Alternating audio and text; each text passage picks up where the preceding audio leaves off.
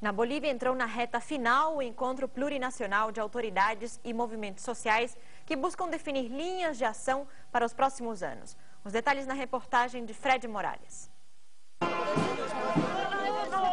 Os movimentos sociais comemoraram a chegada do promotor desta primeira experiência destinada a ajudar as autoridades na definição de ações governamentais para os próximos anos.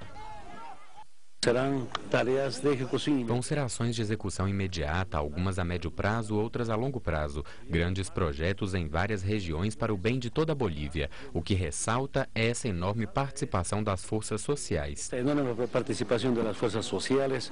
Os setores tradicionalmente discriminados e que são a maioria da sociedade boliviana falaram sobre a experiência.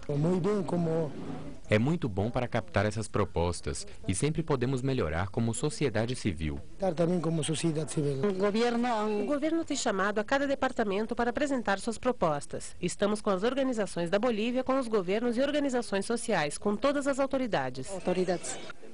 As organizações de gênero tiveram um papel ativo nos debates. Elas conseguiram, entre as primeiras conclusões, a decisão de restringir a venda de grandes extensões de terras produtivas a estrangeiros. Já não queremos permitir. Não queremos mais permitir que venham de outros países para ocupar a terra em nosso país, porque a Bolívia precisa da terra. Por exemplo, no Planalto existem pequenas propriedades, minifúndios, e a família cresce, mas a terra não cresce. A terra não cresce. O presidente Evo Morales disse que esse tipo de encontros vão ser realizados na Bolívia a cada dois anos. Nesta oportunidade foram apresentados 680 projetos. Deles, 380 chegaram aqui como conclusões.